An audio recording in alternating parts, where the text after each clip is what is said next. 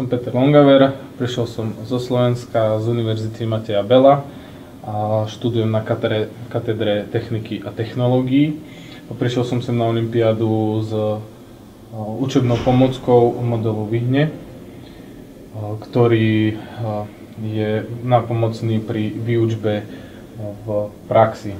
Je to funkčný model a skladá sa z, zo sopuchu, kovadliny, stojanu na kovadlinu, z odkladacieho priestoru pre uhlie, takisto pre náradie prekovača, z ohniska a z klapiek, ktoré slúžia na prívod, prívod vzduchu do ohniska a odpad popolu z ohniska preč.